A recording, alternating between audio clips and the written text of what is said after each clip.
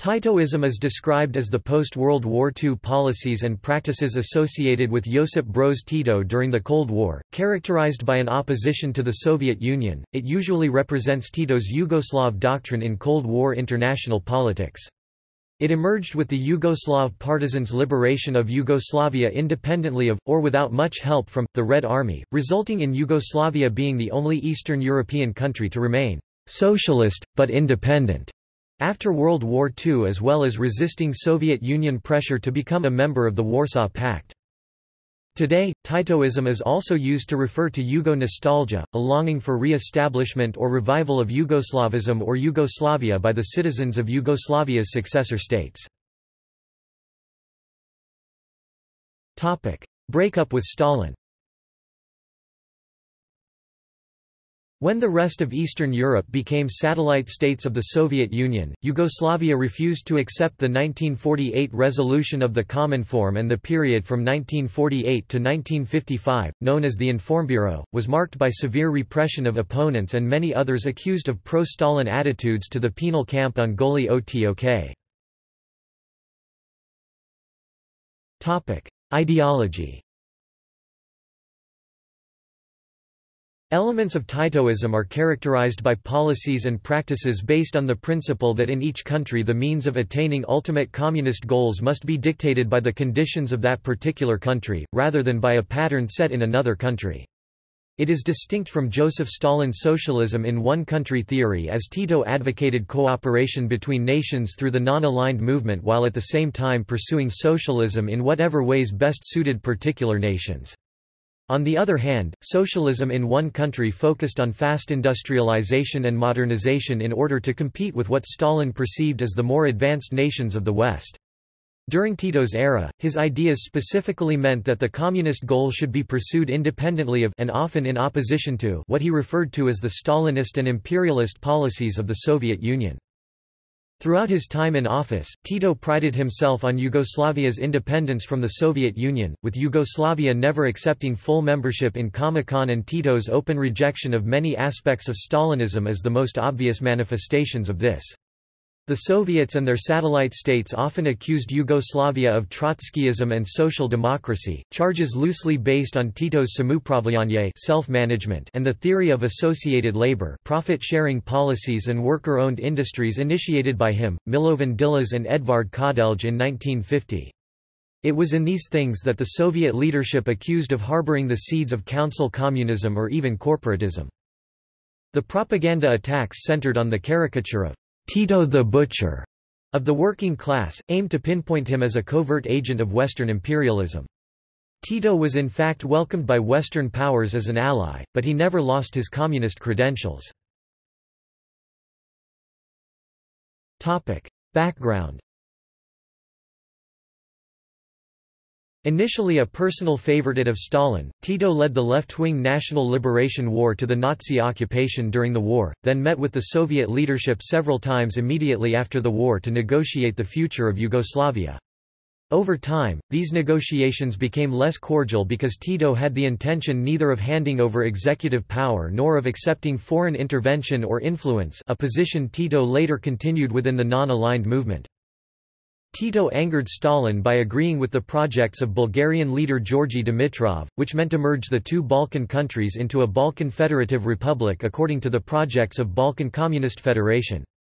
This led to the 1947 cooperation agreement signed in Bled Dimitrov also pressured Romania to join such a federation, expressing his beliefs during a visit to Bucharest in early 1948.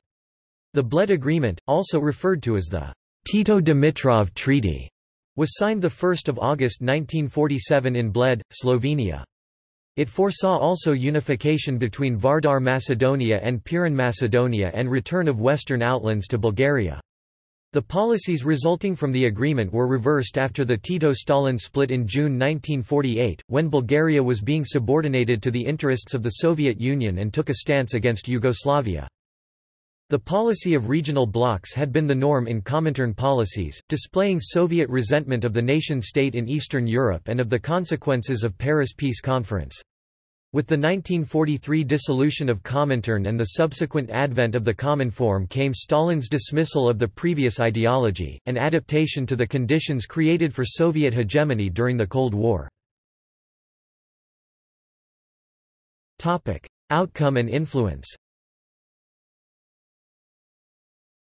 The League of Communists of Yugoslavia retained solid power, as in all communist regimes, the legislature did little more than rubber-stamp decisions already made by the LCY's Politburo.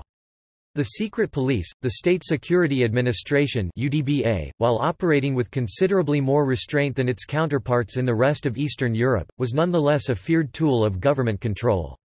UDBA was particularly notorious for assassinating suspected enemies of the state who lived in exile overseas.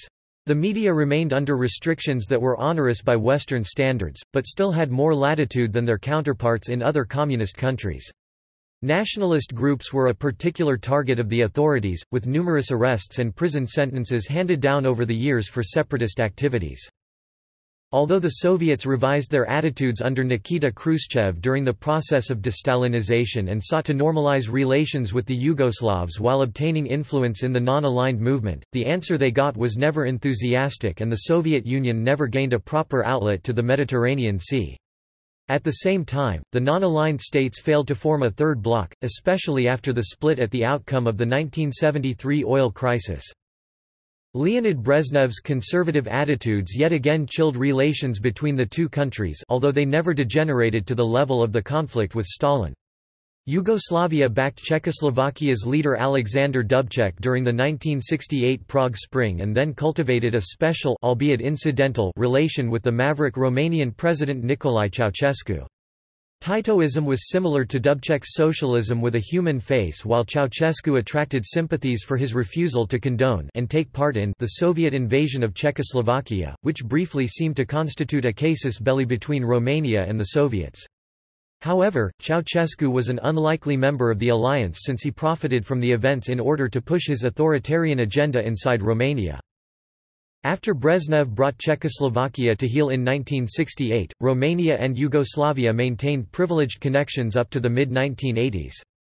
Ceausescu adapted the part of Titoism that made reference to the conditions of a particular country, but merged them with Romanian nationalism and contrasting North Korean Juche beliefs while embarking on a particular form of cultural revolution.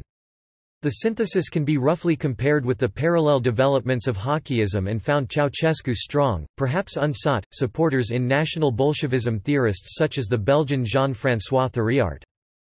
Tito's own ideology became less clear with the pressures of various nationalisms within Yugoslavia and the problems posed by the 1970s Croatian Spring. In terms of economics, Yugoslavia became somewhat closer to a free market, neatly separated from other socialist regimes in Eastern Europe and marked by a permissive attitude towards seasonal labor of Yugoslav citizens in Western Europe. At the same time, the leadership did put a stop to overt capitalist attempts such as Stjepan Mesic's experiment with privatization in Orahovica and crushed the dissidents of liberal thinkers such as former leader Milovan Đilas while it also clamped down on centrifugal attempts, promoting a Yugoslav patriotism. Although still claimed as official policies, virtually all aspects of Titoism went into rapid decline after Tito's death in 1980, being replaced by the rival policies of constituent republics. During the late 1980s, with nationalism on the rise, revised Titoism was arguably kept as a point of reference by political movements caught disadvantaged by the main trends, such as civic forums in Bosnia and Herzegovina and the Republic of Macedonia. See also Economy of the former Yugoslavia Market socialism Total National Defense Yugoslavia Yugoslavism Yugo-nostalgia Yugoslavs Yugoslavs in Serbia Topic. References Topic. External links Tony Cliff. Background to Hungary July 1958. Marxists Internet Archive. A contemporary Trotskyist perspective on Tito's clash with Moscow. Mircea Rusnac. Procesul partizanilor anticomunisti din Banat 1949. Banatera.eu. Mircea Rusnac. Deportarea Banatnilor Baragan 1951 din Perspectiva Istorica. Banatera.eu. Vesna Peric Zimonjic the 4th of June 2009. Balkans, Flirting with Marx, for Old Times' Sake. Interpress Service. IPSnews.net